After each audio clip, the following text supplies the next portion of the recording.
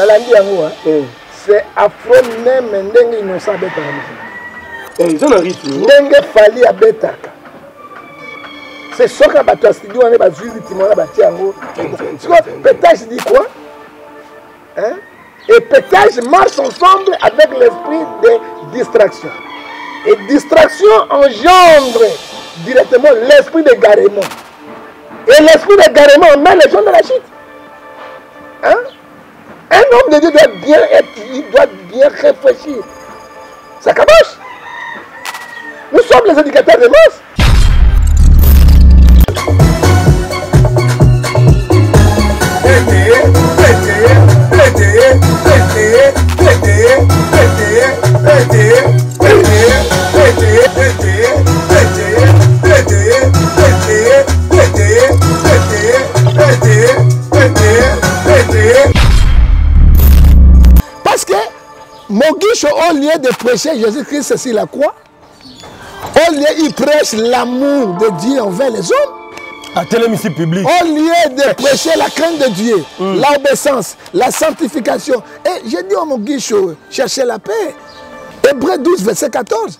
mais atayemisi bandimi hmm.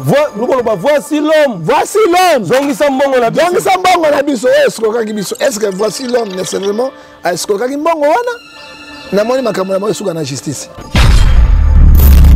te bato ya mutombo bazoloba 6000 dollars eh. epuis mutombo azongisa 6000 dollars mogisha alobi azwa na infran te bayokana na 6000 dollars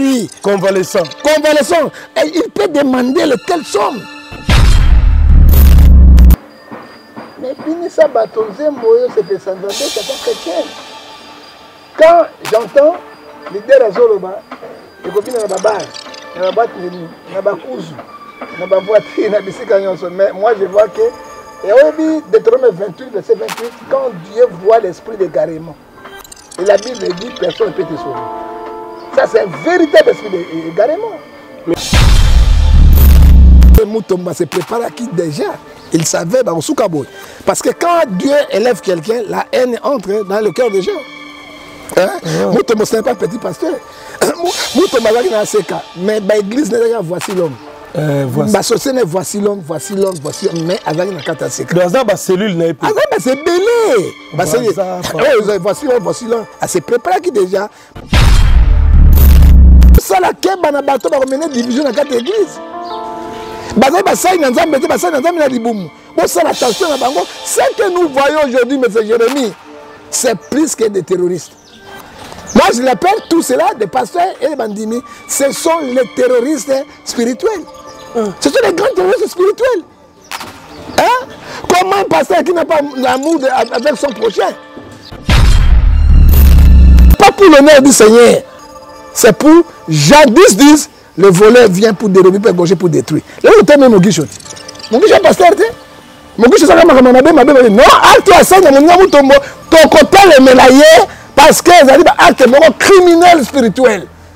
ce que dit la bible bible elobi nakolala na mabele na kanda mpo namipaka ya potopoto na nzela ah yesu tokotia yesu wapi papa yesu alasi biso baveste oyo ata biso na mituka oyo okoti malili ezozwa biso papa atushe mitema ya bato tozotia yesu yango wapi jérémie hmm? jésus kristo tozotia ye wapi oh. eglize ya nzambe tozokende wapi tozokende wapi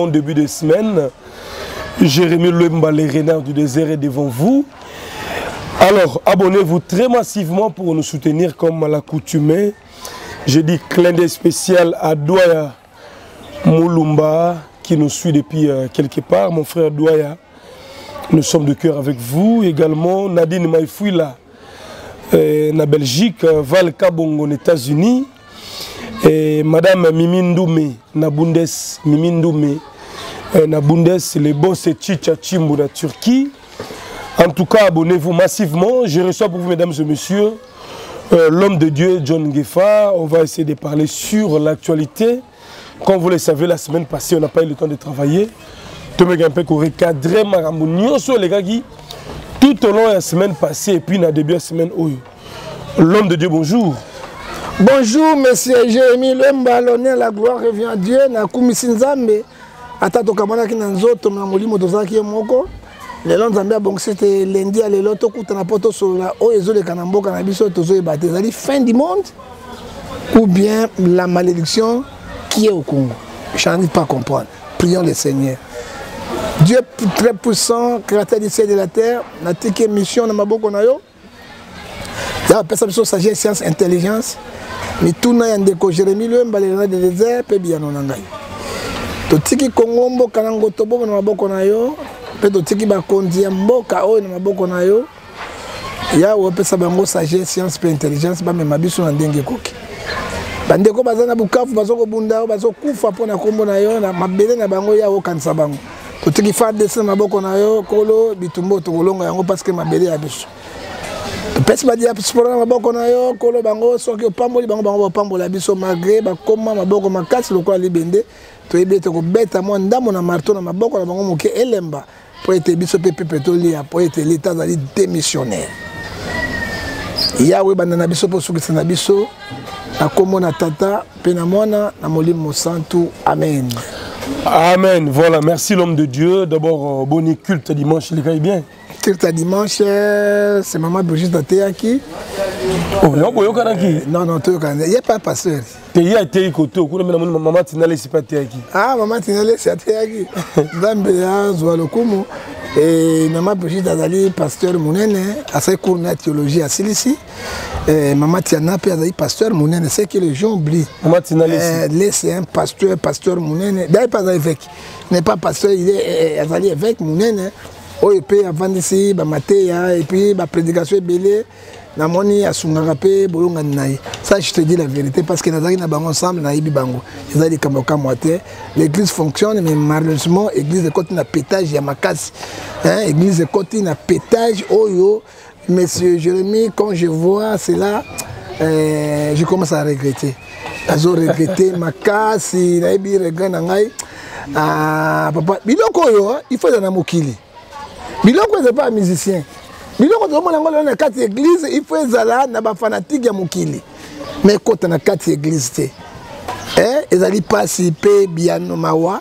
nakotuna mituna nde okotuna ngai nakorepondre mpo lelo napesi mwa vraiment je suis déçu et désolé mais, mais, mais, église ezotambola voilà mais ntango yo omonaka baplein na baeglise ezalaka chance to ezalaka ya bakisi chance nini moto azosala bapetage chance nini moto azoloba eh, eh, nani eh, mutombo eh, jongisa mbongo na biso bandimi bozomema bandimi wapi monsieur frère le pasteur Euh, euh, Michel, j'ai là Michel Mbuta, na disque amisi le faux prophète, na faux pasteur, oyo aza na kati na, na, na france nzambe apambola yo soki obeti faux pasteur eh, obeti jean michel jm eh, mbuta nbuta mpo na yango eza bien epuis ngai banda lelo nakomi korecense bapastere nyonso ya mabe na baeglize ya mabe parce que soki torecense bango te nous allons où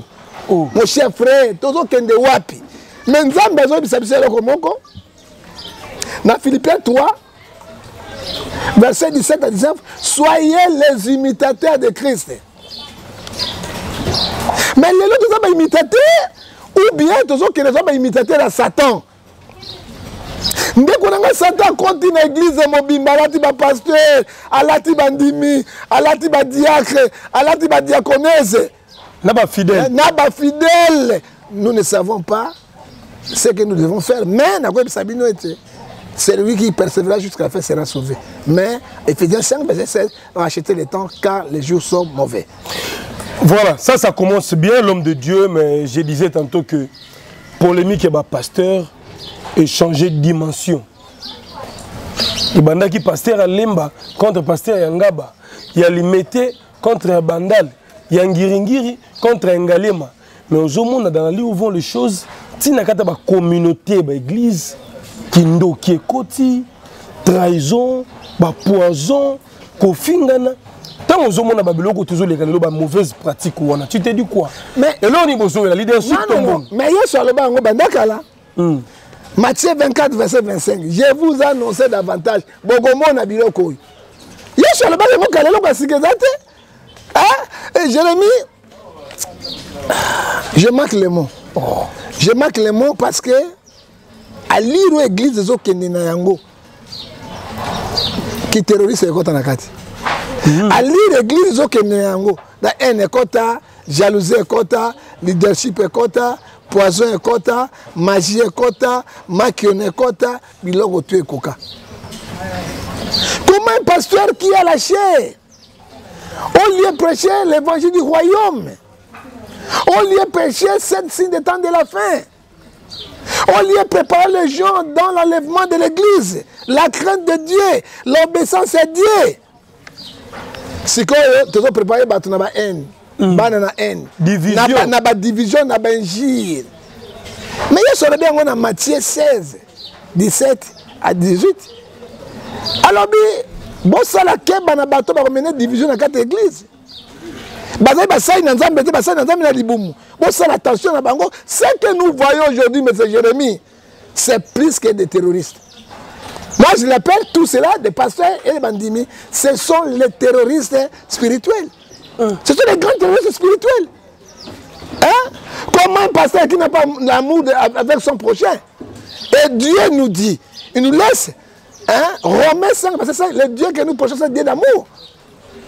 Cultivons les fruits du Saint-Esprit, monsieur. Nous ne cultivons pas les, fruits du Saint-Esprit, nous cultivons l'esprit de la haine, de la jalousie, de l'idolâtrie. Nous qui devons de la magie. Les, les les pélingues et les polos sont entrés dans l'église de Dieu. Moi, je dis cela, mes chers frères, pasteurs, prophètes, apôtres, euh, docteurs, soi-disant évêques, tout cela. Il faut savoir que Romains 14, verset 10, nous serons sévèrement jugés devant les tribunaux de Dieu. Dieu qui a tué Moïse à cause d'une petites erreur, il n'aura pas pitié des personnes. Il n'aura pas pitié des personnes. Ce que nous faisons aujourd'hui, nous assassinons Jésus-Christ de la croix.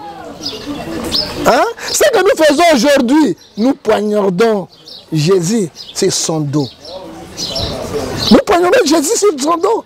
Est-ce que quand vous dormez, hein, votre conscience ne vous reproche jamais votre conscience, le pasteur. Moi, je ne suis pas saint. C'est que je, dis devant vous, je ne suis pas saint. Parce que la Bible me dit, Romains 3, verset 10, personne n'existe devant Dieu. J'ai craint Dieu. J'ai négocié avec Dieu. Nous allons où hein? Nous allons où les chers mes chers frères, pasteurs, prophètes, apôtres, docteurs, bishop, archipapes C'est désolé. Et désolé. Et tu sais, la Bible me dit, Galates 6, verset 7.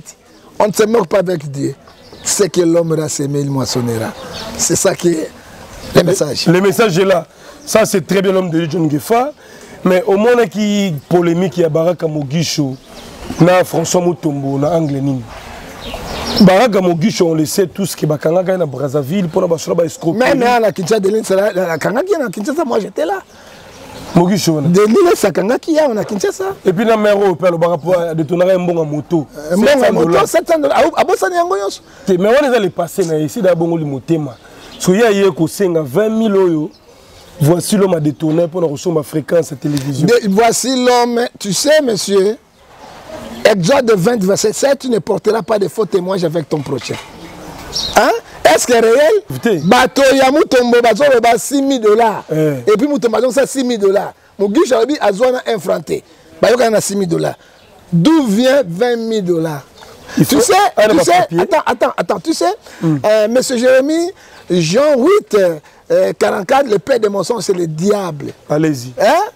C'est le diable. Il faut dire les choses qui sont réelles avec ton prochain. Est-ce que c'est réel Est-ce que c'est le moment Moguiche peut demander à son frère, pasteur, apôtre, il est malade, empoisonné. Il n'est pas guéri. Convalescent. Convalescent. Et il peut demander le somme.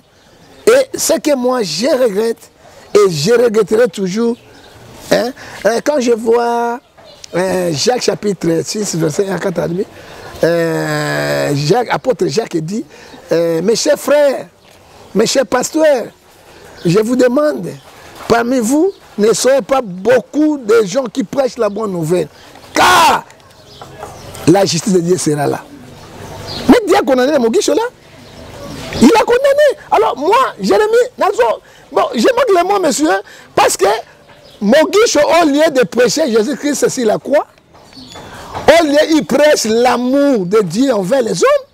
atelemisi public au lieu de eh. prêcher la crainte de Dieu mm. l'obéissance la sanctification et eh, j'ai dit au mon guichot cherchez la paix Hébreu 12 verset 14 mais ateyemisi bandimi hmm. loboloba voici l'homme voici l'homme zongisa mbongo na biso zongisa mbongo na biso oyo esukokaki biso est ce que voici l'homme nécessairement esukokaki mbongo wana namoni makambo na bango esuka na justice omona lino ozokende parce que voici l'homme aza na bavocat si. aza omoni eh, eh, tata wana mogishu mogishu abosani nyonso oyo asalaki mbiso abimisaka monoko ya bato il oublie te ye aza so abengi eh? moto na telefone ayebi si otombola mbeto omona portemonoji mpe mbongo nalobi semakio nayokanaka na bato wana papa ah? ayokanaka na bango mbongo yango mpe ebimaka te na mbisi na portefeuille ezalaka te ce sont les escroqueries spirituelles emonanaka te tomona yango te totika totika kosaka na nzambe ministère ya mogisho ondima yango te frère moi suis un vrai prophète nalobi sentinelle du congo nazali moto apelaka miracle extraordinaire makoyoka ngai na batelevizio te mwasi na ngai na cancer ya libele awa bakata ye libele tuna ye cancer yango eza c'est porté disparu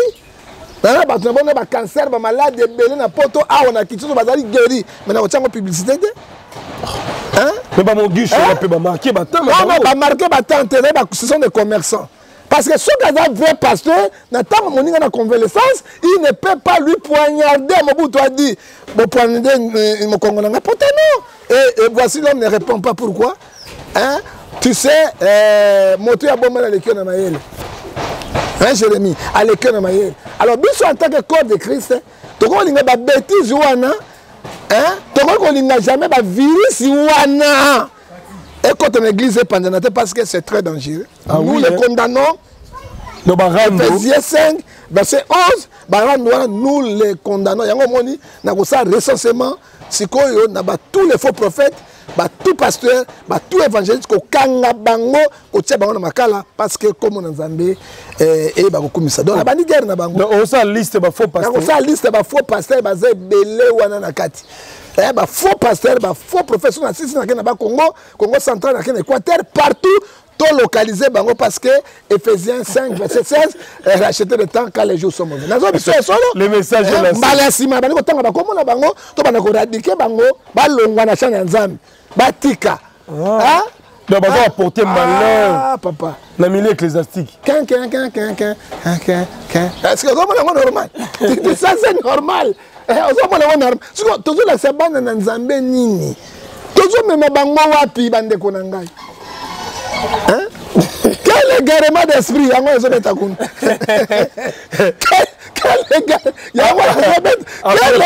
après pétard quel égarement d'esprit toloba toloba te toloba ah, papa nalobi eh. ah, nakolana mabe na kanda bona mipaka ya potopoto na nzela ah, yesu tozotia yesu wapi papa Yesu alasi biso baveste oyo ata biso nazi mituka oyo okoti mawingi ezozwa biso papa atushe mitema ya bato tozotia yesu yango wapi jeremi hmm? jésus krist tozotia ye wapi oh.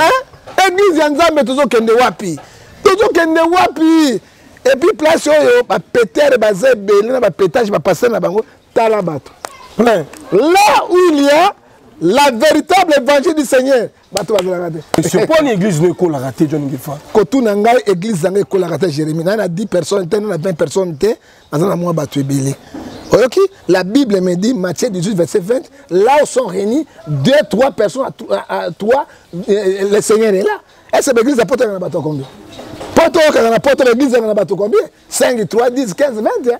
Soki ozwi 30 personnes na poto loba opanisa église eh, solo bato bazalaka nango te ekoma eh, bamosusu baosala baplai baprofete ebele papa nayebisi yo mogisho ayekala mingi te na kini auti ne bagoma kuna nayebisi yo 1 eh. jean chapitre 5 verset 19 nous sommes les enfants de dieu il faut savoir que le monde entier est sous la puissance du diable bamagicien wana oh. ah, bamakioniste wana yo ndimaka baplein baninga te ah. eza chanceplein ya solo hein?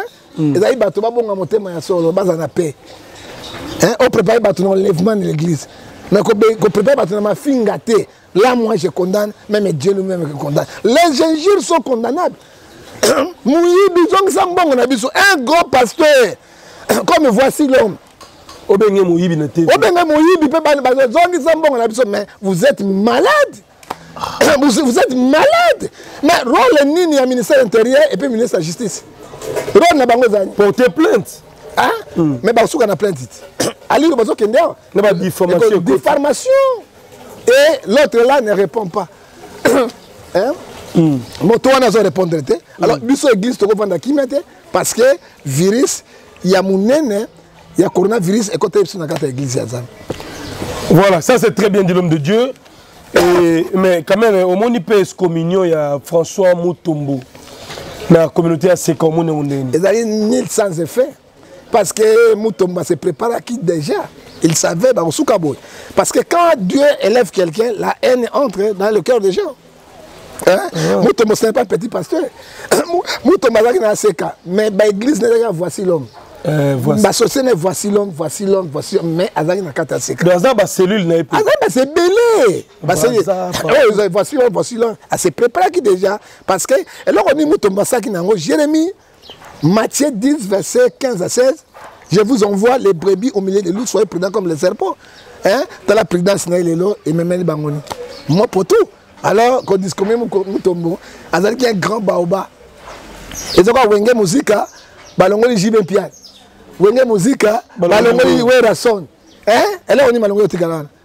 petage na petage poloso na poloso mm. eh, mutombo se préparaki mais mutombo ipara azokosa poison et tout ça ne bato mutombo akosi poison te tala matama ya mutombo esoswi ekwei boye tala beauté mutombo azalaki na yango lelo est devenu noirci ça dit quoi ce sont les septembre de la poison et poison esili te je demande à mutombo batraite ye traditionnellement bokoko eh, bokoko meme ngai nayebi amalende abingani c'est moi qui a initié alende na kobikisa na poison nayebi biloko tokosala papa moto mwana bika epuis na loboko na nzambe ozomona kora moto epuis il est, il est aussi affaibli moto mbili afe mage azotiya kaka na miso makasi ndoki te eh, eh, motombo azoteya na miso makasi ndoki te motombo aza déjà affaibli alors ce n'est pas le temps ya kodiscomine mutombo na ntango oyo sadi kua motema mabe efutaka te et je, je peux vous dire aujourd'hui mm. na kati na mokanda na proverbe 3 verset 30 à 34 olobi ete eh, la malédiction est dans les maisons des méchants voilà merci merci beaucoup euh, nadine maifuila na belgique val kabongo mon frère doya oyo bato ya sika eh, donc euh, pesa eloko oza eloko defo te eh. mimi ndume na bundes baye bato ya sika bakoti eh. sema mayasi fo bato ya sika te femme légitime ya jansi mayasi forza italia lebose chicha chimbu na turquie le célèbre die nzundu na washington la base boza wana mama claudine luyeye on ne change pas l'équipe qui gagne voilà abonnez-vous massivement partagez l'émission nous sommes là avec john gifa bosengaki tosala un peu mon analyse par rapport à bafaits oyo ezoleka lelo na mboka l'église de dieu ekoti na pelengendu buzoba ekoti mwa pelengendu na poloso fo bakisa poloso ekoti makasi hmm? Hmm? trop de bêtises ekoti na église alors tosimba nanu mpe je dirais nouvelle chanson ya ndeko denis lesi omoni lesi bien, bien concentré na kati ya studio na enregistrement olandi ye bien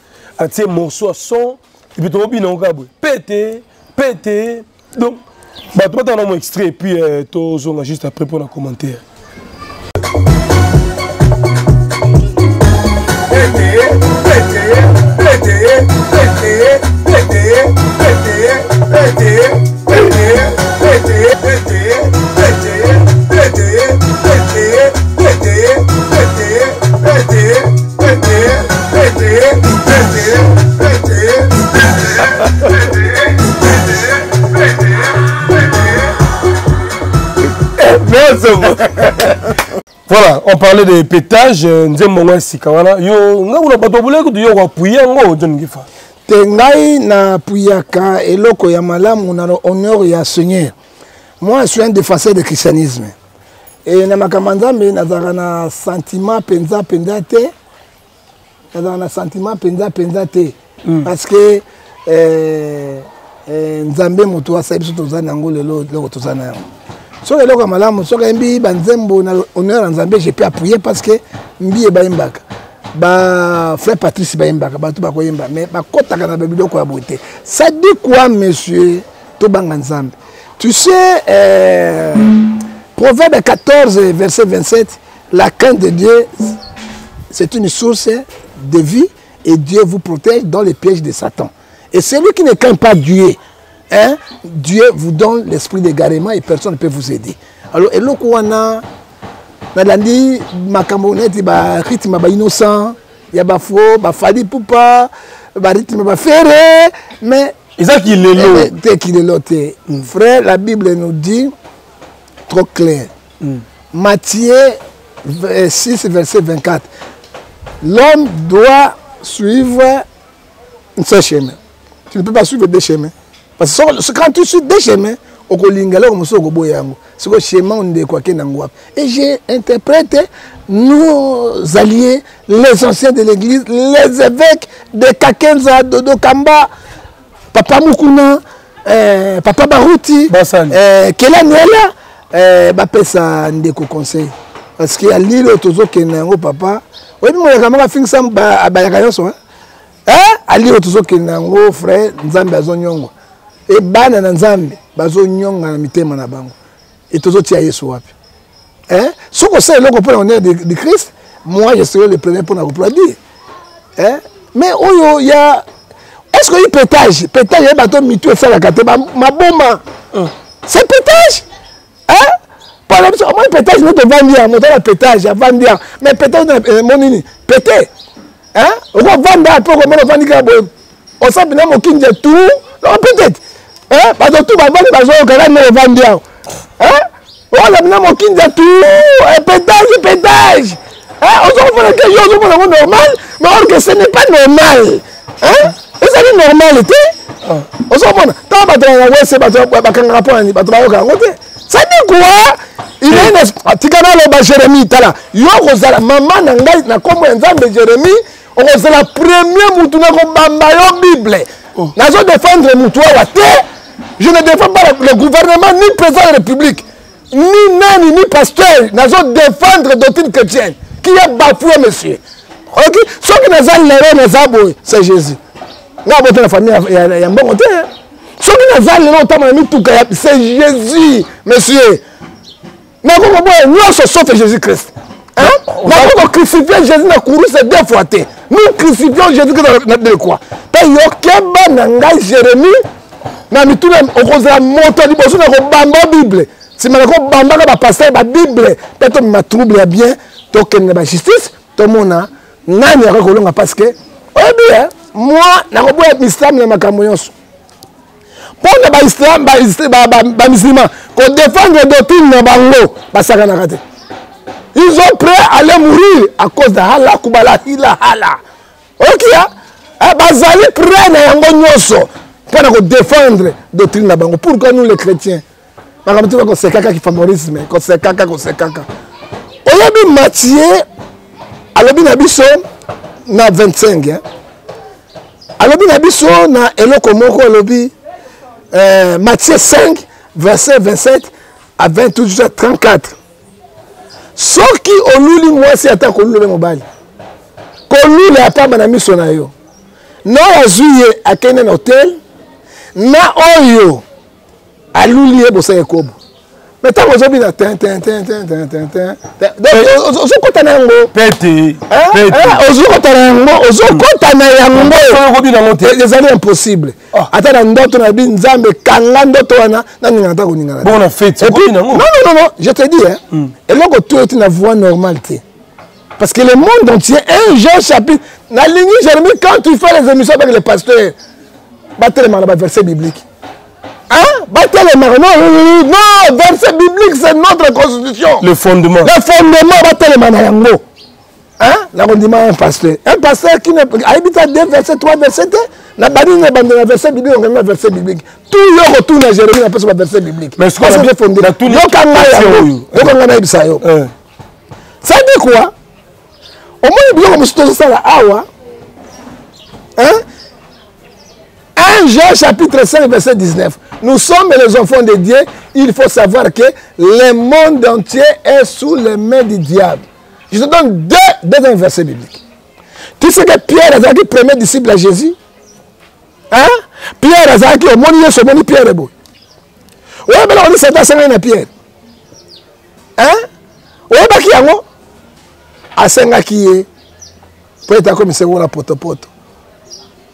hein soki otali na matthieu liki 22 verset 31 à 34 e jésus azongisa alobi ete pierre nabondelaki mpo na lelo mpo ete okwesa maboko ya satana te hein? ce que nous voyons différence nini na, na, na différence nini na bainnocent na bagezi maweti et la bible nous dit elobi na biso claire 2 Corinthiens chapitre 6 verset 14 à 17 il n'y a pas les relations de ténèbres et la lumière et 17 elobi nini sortez au milieu de se séparez vous Jérémie Dieu qui a fait mourir Moïse aucun prophète sur la terre oyo aza kosuka nzambe face à face okola moïse moïse azwi lotomo na nzambe amisa bana israele na kati na bombo ya pharaon pendant 33 ans ba cause ne petite erreur loba na mai ye abeti mai ebimi abengi na, na ngomba ya orebe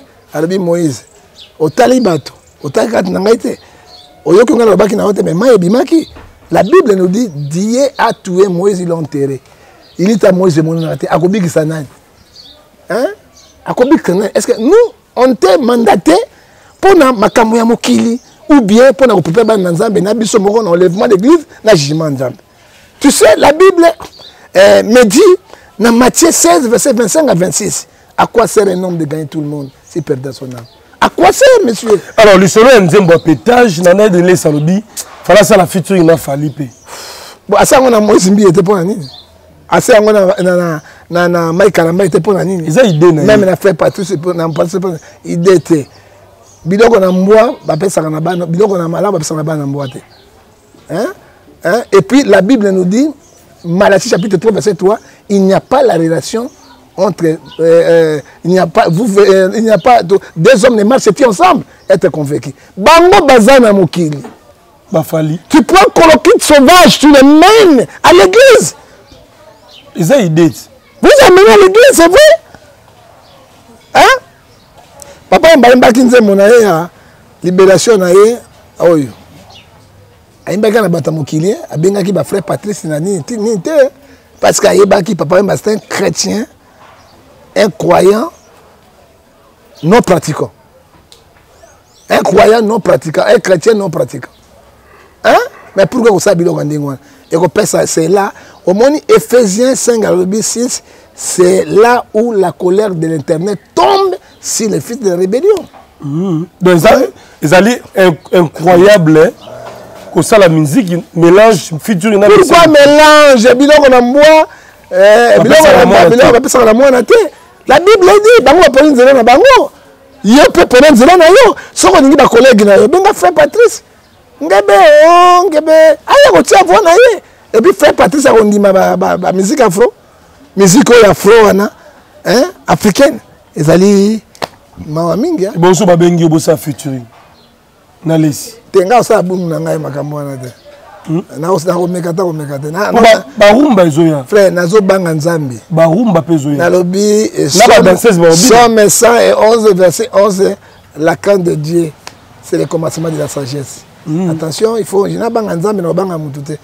et puis il est trop fier euh, euh bandeko na ngai mm.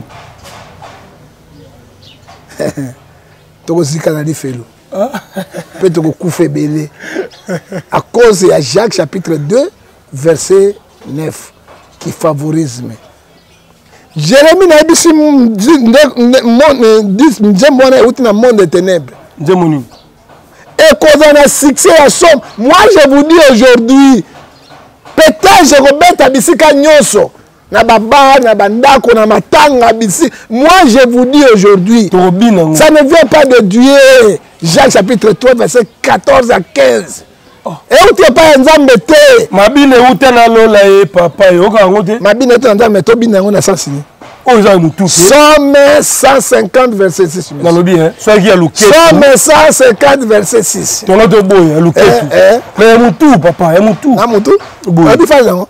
sikoyo soki abina nga motu eh, eh, eh.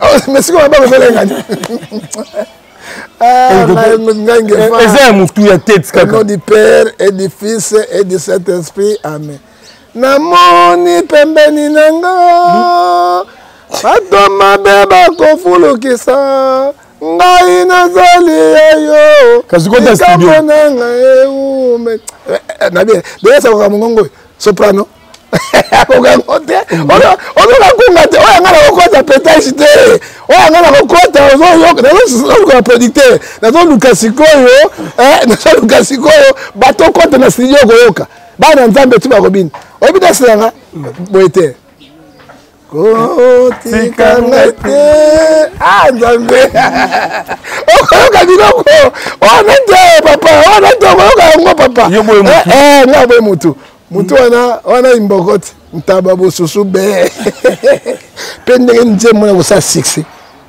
parce que moi papa moi dieu m'a parlé oyebi eloko nyonso ya nzambe yaka na difficulté parce que le monde nzambe asali yango mais le chef du monde c'est satan parce que la bible a dit clair tala bana nzambe basambelaka mingimingi bana vika misère tala bato oyo bahomosexuel banini ndenge baosaka na misolo ok age chapitre 27 oui l'or et l'argent appartient à dieu mais celui qui persévère oyo ya nzambe eyaka malembe malembe avec le temps hein? avec le temps qu'est-ce qu'on hmm. pourrait faire monsieur voilà mpo na ngai en tant que homme de dieu en tant qu'un évêque to consommer album hein en tant qu'un apôtre na kotinda bato na nzela liwa te hein oyo sentiment esali l'homme est libre la vraie démocratie euh, mais ko yo ozala na position te nini na na position yo moko moto akosimba deni lesi asimbi nga yo moko su contre nzembo na ye nasimbi ete parce que namoni aleki na nzela nyamunyamu et puis ne doit pas danser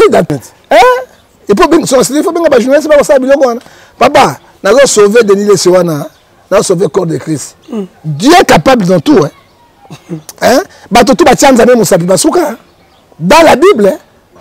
Hein? Apocalypse ezo ba j'ai vu l'internet descendre accompagné de son armée armée eza nzambe pouvoir eza nzambe foudre emonaka kakakaka moto asala foudre te c'est Dieu inondation ezomona eboma bato se nzambe omona na, na, na, na, ah, na mboko nini ya baterroriste eh, afghanistan omoni nge mai ezoboma siko bakomi na 1000 personnes bakufi bakoma ata 10 personnes hmm. bato basala eloko te c'est la colère de dieu oyo ezokwela kata bana ya rébellion on ne blague pas avec dieu oyebi bible ebisi na biso na kati na galate 5 eh? alobi na biso na 6 alobi ete chacun portela sa propre charge oyo mikumba ah. oyo mikumba oyo mikumba ce n'est pas pour l'honneur du seigneur c'est pour jean 10 10 le volet vient pour dérober mpe gauche pour détruire lelo oteme mogisho te mogisho pasteur te mogisho ezaka makambo mabe mabe mabe non acte ya sanya moninga motombo tokotelemela ye parce que ezali baacte moko criminel spirituel ce que dit la bible bible elobi na biso hein Ephésiens 5 verset 11 to condamner ba effet ya diable non tokotika te soki eloko malamu ayembeli nzambe na nzembo c'est bon mais oyo ya badanse na bapetage oyo na bakusu ekobeta na botele ekobeta na babare ekobeta partout ekobeta sikoyo tozomema bana na nzambe wapi tozomema bango wapi sa valeur na ngai yango ya jérémi lejo tala moi je suis pas opposant e papa nalukaka baveste ya bien ya kolata na basuli ya bien soki okamati na komona banani na se makolo te likolo hmm. biloko ye naluka yango nzambe apesi nga yango natamboli na makolo na moto ezofime tututututu bato bakoseka nga lelo nazwi eloko ya malili oyo naotambola na yango c'est dieu qui donne il faut na protéger je suis pas commerçant nasaka basika moko te il faut na protéger nzambe oyo alobi na ezai 52 52 verset 13 mon serviteur prospérera il monte sera très haut eloko osala balider na biso lelo nini bazalaki eleve apocalypse sikoyo esandi bango na 3 14 a 15 nzambe asandi bango sikoyo basandi bango bakotikala mpamba te bazocreye biloko mosusu mpo bazonga na mouvement mais bokeba ete nzambe wana oyo elevaka nzambe wana mpe akwesaka celui qui donne la vie celui qui fait périr des gens faut hmm. kokeba eloko nazoyebisa bino voilà merci à tout le monde pasteur doris na allemagne et je vois également pasteur olivier tabala depuis london city gérard sadam na manchester ya luison mbala de madrid ya luison mbala de madrid je n'oublierai jamais toutes les grandes dames qui nous soutiennent maman fifi longo na londres maman espérance asutu la mère des archanges na belgique Maman Sarah Lina Wembi na États-Unis, de Chris Konde, un bon bela bato bora bo mutuka te kama kolo gérer. Maître César eh, Souka eh, ma eh, puissance à Mikil. Yo zik mutuka corruption. Corruption pas na. Ba corrompre yo. Na na na corrompre nga. Na loba. Eh. Loba mutako be. Oyebi Bible zo bisa biso. Ah wangani. Matthieu 10 verset 9. L'ouvrier mérite hein? son salaire. Ba corrompre yo. Na loba mutako corrompre nga parce que na kotika na ngefa na ngefa kotika na ngefa. Dele sa mutu na nga hein.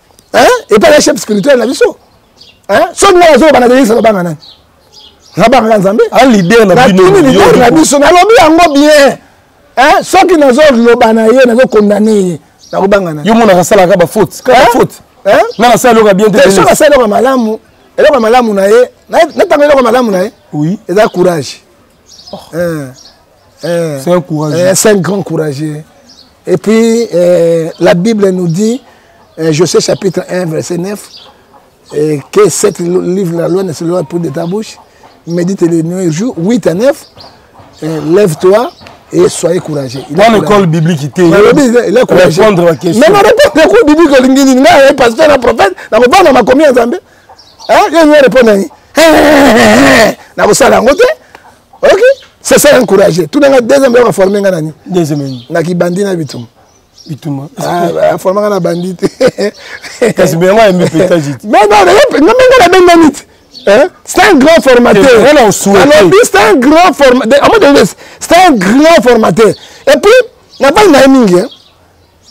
Et l'autre, on a ça que je suis hein azala créateur sa créateur aza na détermination asalaka eloko eshuwaka te parce que suwe bato mingi ezali eh, john ngefa yoka te nasani suwe bato eza mingi nasani bamona okota na clip nasani na clip nakota clip ya pétage oya pétage eh. soki nakobinela yango ndenge ozobina oya clip maboma nga mwasi pas de trage mais nalobi yango oyebi naso nakobina badanse ezolaka bajo rip mokuse bo badanseuse wana bakobina bajupe mikuse boye sikota na club sikoyo na business mikota sikoyo tokosala nini nakobinela yango nini po ye moko ayebi danse na soki atelemi sikoyo nga nakobinela nini katali bangola katali ekosimba te parce que ozomona okomona de biloko ekosimba te mai nayebi nazobisa bino verité nzela eloko wana ebima ekokartone kosimba kongo momi mm. nayebi motu wana je le ah, connais ah, force esprit nayebi motu wana na force bokomona yango mais akozwa ce que la parole de Dieu dit, Jean 12, 43, ils aiment la gloire du monde que la gloire de Dieu. oza moto ya problème hein? mais nazovanda na verset biblique te moto ako conteste ngai aya na verset biblique tovanda toyoka ba matos et tout cela monsieur euh, ce que la bible dit aussi hmm. esaïe 30 verset 1 à 2 euh, alobi malheur aux enfants rebelles qui prend la résolution sans moi pour accumuler les, péchés, les péchés sur péchés et euh. péché affronte les frondondo geste dit membo euh. ah mais oui hein. Voilà, merci beaucoup. Nous voici arrivés à la fin. Bande va s'abonner, belé va partager l'émission. Mais un message dans ma comédie, vous avez la belé. Hein. Comédien, hein? papa Kwedi, azala koma. Ma faute na bango te bili ali abitambola tambola. Hein? Mais moi je te dis la vérité. La robe va et pas maman Olive. L'homme et pas maman Yankero. L'homme et pas Jean-Pierre Bemba. Boluka kanini. Bongo. Monta kotia bino yombo boyebi yango te. Eh, meteo aza mpe na hôpital oyo mm. oh, mosusu mais oui mama kalunga poison oyo oh, meteo mpe na poison papa kwedi aza na koma alors bakosila bango nyonso oyebi nao na bango eh? ce sont les poisons retardés ah. mosusu yaka 2 ans 3 ans mosusu me ya 5 ans soki ebimi moto abikaka nango te yango moi bible elobi ete eh, alobi nyama na makolo mine alandaka nzela bo moko matthieu 6 verset 24 tu ne peux pas suivre deux chemins à la fois hein? omoni comédien moko azali mpa moyesi katumbi alobi alobi alobi ntango azonga epai ya tshisekedi eh. azalaki mikolo boni akei ça dit quoi euh, romain 6 verset 23 le saï du péché c'est la mort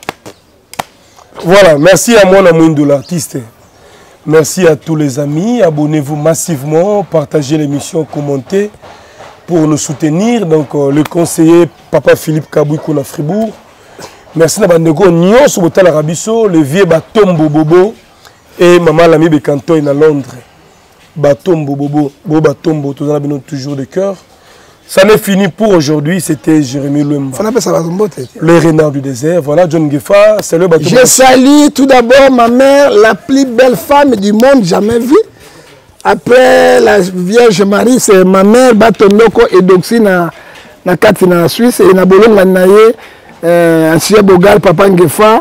eh, na genève nzambe apambola ye bijou ngefa bala mongalo kelenga libala nzambe apambola yo papi ngefa professeur de la sape nzambe apambola yo eh, latiste moindo aye na epembe na biso kota émission nzambe mpe apambola ye azwa carrière akende liboso eh, vraiment lokuma sando ezonga epai nzambe toyebi te eh, nazomona ko ugandais eh, nani eh, ugandais nazomona ye mpe moindo yango neti Eh, somalien toyebi te soki na bombe awa po monde oyo toyebi te monde oyo ekomi kebakeba kola pambola tosuete okaria malamu ocontinue liboso oyo banzambe ekangama na balider okozwa grand leader topesi mpe mbote na waroma président ya badiaspora na kati ya london city eh, paster nzela mbila topamboli yo Eh, box likambo yo moko oyimaka mosala nzambe bapambola yo na kati italiato nzambe apambola yo eh, prophetesse eh, oyo tobengi ye babi kabala na suede oyo aye yango wana tobosani mpe te ete maboko banke oyo tobengi mami bomolo bolumbu eh, oyo tobengi ye ntula minobe ngai gaisola simisi savante eh, maboko banke na kati ya verse nzambe apambola yo topesi lisu mbote eh, na deuxième femme eh, la plus belle du monde ezali rebecca ngefa Hein? Deuxième femme la plus belle du monde après ma mère ezali Rebecca Ngefa euh, wana wana suka wana aza kwa japonaise lokola eh, chinoise babakisi lokola mwa française eh, soki omoni rebeka ngefa soki omoni ye boyebi oyo eh, angelu ete mpa nzambe nzambe afabrika ekola pambola ye nzambe apambola ye ekola pambola ye Euh, euh, mbote ya suka tokopesa eloko pesa eloko yo linga bapesa babanga eloko te pesa eloko ozonga eloko topesi dernier mbote na jérémie lemba lelina belize nzambe apambole mais un grand copera oyo oh, azwa tolaka grave epuis nzambe apambole na mona nano te ata na 180 mabanga oyo ata motuka yango te mai nga asomba jérémie kar ano ekosila te moto akopambola ngai lisusu motuka na bapesa ye nazali ya papa motema malamu mai nabebisa jeremi alembisa mabanga mpo batolaka ndenge wana te eh, etikali mika tole yesu mai akota bokomi na likolo te soki abongwami te nzambe apambola bino